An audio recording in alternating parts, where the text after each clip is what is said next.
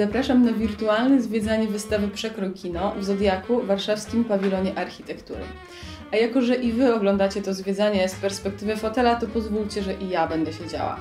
Cóż, takie czasy.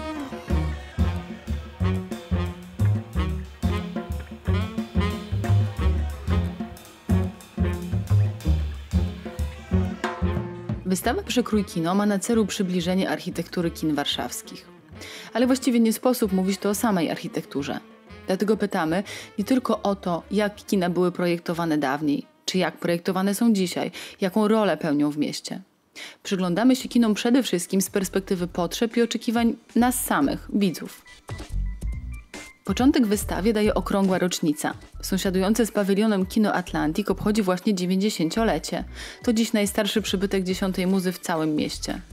Opowiadamy o nim jako o kinie, które potrafi szybko reagować na potrzeby widzów. Wystarczy wspomnieć, że jeszcze na etapie budowy przerobiono je na kino dźwiękowe, co od razu przyciągnęło tłumy złaknionych nowych technologii widzów.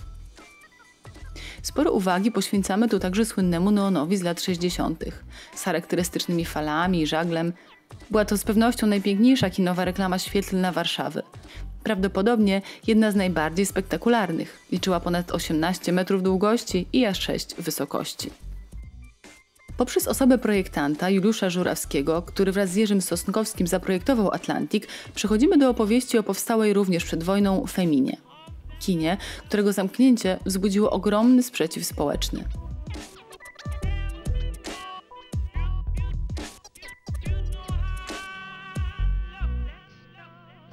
Kolejnym kinem, wokół którego budujemy narrację jest Iluzjon, dawniej stolica. To dla nas przykład modelowej wręcz przebudowy, uwzględniającej zmieniające się przez dekady potrzeby publiczności. W 2012 roku kino Filmoteki Narodowej zyskało nie tylko dodatkową salę, lecz także przestrzenie warsztatowe, a nawet fosę orkiestrową. Przyczynkiem do tych wszystkich zmian u samego początku były również głosy krytyki mieszkańców na wieść, że podupadające wówczas kino może zostać zniszczone. I w przeciwieństwie do wspomnianej Feminy, te głosy zadziałały. Stolica jest jednym z kin projektu Mieczysława Pipreka z końca lat 40. Wszystkie to wolno stojące obiekty z falującymi dachami czy rotundami. Istne świątynie filmu. Tak charakterystyczne, że właściwie do dziś z ich architektury można wyczytać dawne funkcje. Ale z ich losów da się wyczytać coś więcej. Wzloty i upadki całej kinematografii. I tak w praskim kinie 1 maj od lat zamiast karmić się rozrywką możemy robić codzienne zakupy. Kino Ochota filmów już nie wyświetla, ale zachowało swoje funkcje kulturalne. Działa tutaj teatr. A po wolskim WZ zostało już tylko puste pole, które prędzej czy później prawdopodobnie zapełni nowa mieszkaniówka. Śladu nie ma też po kinie Skarpa, którą na wystawie przywołujemy poprzez dominujące nad całą przestrzenią delikatne światło oryginalnego neonu. Otwarte w 1960 roku kino projektu Zygmunta Stępińskiego i Andrzeja Milewskiego zachowało się w pamięci jako surowa, modernistyczna bryła, a także miejsce licznych premier i festiwali. Na wystawie zestawiamy je z innymi kinami o podobnym premierowym charakterze, z Moskwą i z relaksem. Pytamy też o to, na ile wpływ na ich zamknięcie miała właśnie lokalizacja. Zbyt dobra lokalizacja.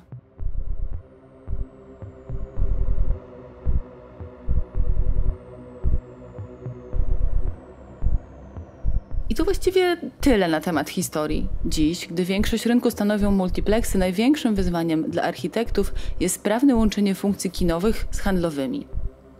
Widzeni ciekawością, czym jest specyfika kina wielosalowego, co kryje się pod hasłem nowoczesność, a także czemu właściwie kino to niezmiennie nasza ulubiona forma uczestnictwa w kulturze, prezentujemy nie tylko rzuty, przekroje, fotografie czy filmy, lecz także zebraliśmy dla Was bogate statystyki. W końcu, choć dziś przez pandemię kina są zamknięte, to bycia w nich doświadczył każdy. Każdy zostawił w nich wspomnienia. I każdy wie, że tramwaje zatrzymujące się wciąż na przystanku Femina, podobnie jak lwy zresztą sprzed kina Moskwa, strzegą wspomnień o zmieniającym się na naszych oczach mieście. A wy?